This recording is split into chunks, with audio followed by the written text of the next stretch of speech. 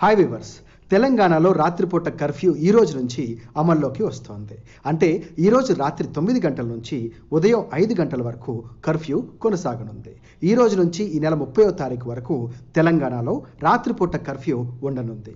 ఈ నేపథ్యంలో హైదరాబాద్ మెట్రో రైలు సమయాల్లో మార్పులు చేర్పులు చేసింది.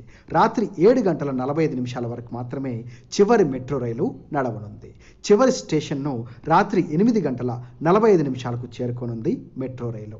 ఇవాళ నుంచి ఈ నెల ముప్పైవ తేదీ వరకు కొత్త నియమాలు అమల్లో ఉండనున్నాయి. ఇక యథావిధిగా ఉదయం ఆరు గంటల ముప్పై నిమిషాల నుంచి అందుబాటులో ఉండనున్న మొదటి రైలు సాయంత్రం మాత్రం ఏడు గంటల నలభై ఐదు నిమిషాల వరకే చివరి ట్రిప్ నడవనుంది. ఇక ప్రయాణికులు కూడా తప్పనిసరిగా కోవిడ్ నిబంధనలను పాటించాలని హైదరాబాద్ మెట్రో రైల్ స్పష్టం చేసింది. ఇంకా ప్రయాణికులు మాస్కు శానిటైజర్లు తప్పకుండా వాడాలని మెట్రో అధికారులు కూడా సూచించారు. ఇక మెట్రో రైలు కోచులతో పాటు మెట్రో స్టేషన్లలో కూడా పూర్తి స్థాయిలో శానిటైజ్ చేస్తున్నట్లుగా అధికారులు తెలిపారు. సాధ్యమైనంత వరకు ప్రయాణికులు మెట్రో కార్డు ద్వారానే ప్రయాణించాలని నగదు ద్వారా టికెట్ కొనుగోలును నివారించాలని మెట్రో అధికారులు విజ్ఞప్తి చేశారు. స్వదండి మెట్రో టైమింగ్స్లో మార్పులు చేర్పులు చేశారు.